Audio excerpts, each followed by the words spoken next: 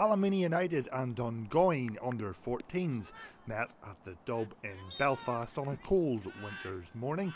Ballymena kicking off wearing the sky blue and Dungoyne in the royal blue. It was the Sky Blues that created the first real opportunity. Good play from Ballymena's captain Cameron Eagleson allowed a shooting opportunity for Corey Kyle, who couldn't keep his effort down on this occasion. Again, it was the Sky Blues who came forward down the left wing. Corey Kyle crossing, however, another effort going just over the crossbar. As the first half progressed, Dungoyne came into the game more, and this strike from Carter Maxwell tested Jack McClure in the Ballymena goal, who got down well to save.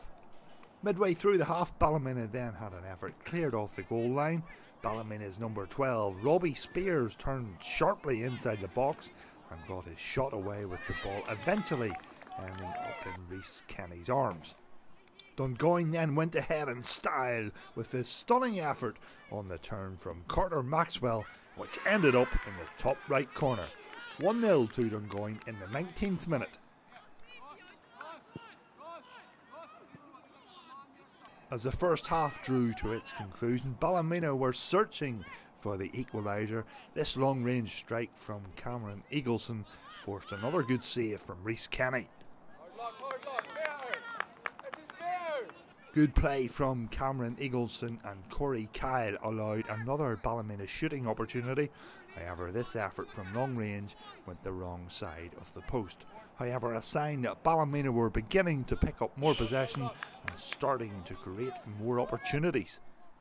Into the second half we go with Dungoyne leading 1 0 and Ballymena were awarded a free kick in the right wing position. Callum Douglas took the set piece, which allowed a fantastic opportunity for Bo Stringer, who fired straight at the goalkeeper from close range. Abby Sweetlove's free kick for Ballymena was bravely blocked by the Dungoyne wall. The Sky Blues regained possession and levelled the scoring when this fantastic effort from Ben McCormick flew into the top right corner to make it 1 1.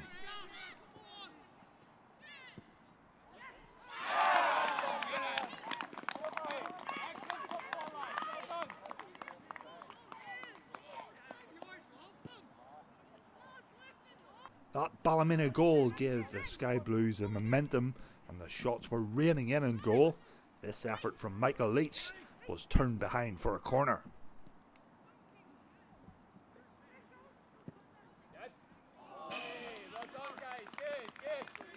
Ballymena were enjoying possession in the final third and they took the lead when Ben McCormick scored his second of the morning with another stunning strike from distance just outside the box. A fantastic turn and lethal finish.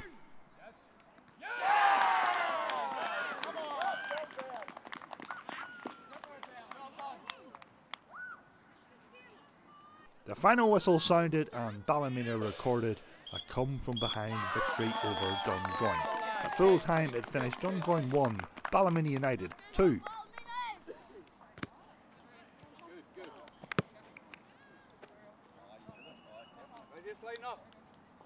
I thought that the first half were comfortable. Um, just in the second half, the match was more or less a game of two halves, and Ballymena come out and, and got it in the second half with two fantastic streaks. To be fair, like that the keeper couldn't do nothing with whatsoever, straight in the top corners. Like uh, I thought all three goals today were exceptional. Like.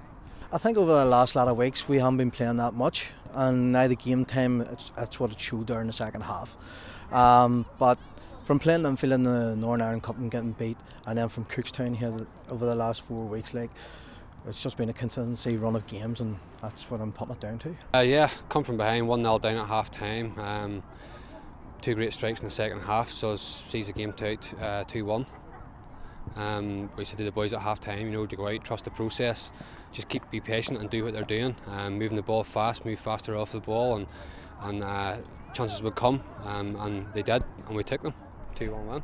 Uh, just we've been working a lot of training lately on uh, decision making and uh, movement off the ball more so than on it, um, supporting the guy on the ball and, and things like that. So I think we're starting to see the, the benefits of training coming into our match day performances. The second half, the first half, sorry, I thought we didn't just move as smoothly off the ball. Um, we didn't find the space uh, in behind their, their midfield and, def- and defence. So se- second half we, we challenged them with it. We tasked them, can you get in there? You know, and when you're in there, can you can you make, it benefit? Um, and I feel we did, we did that.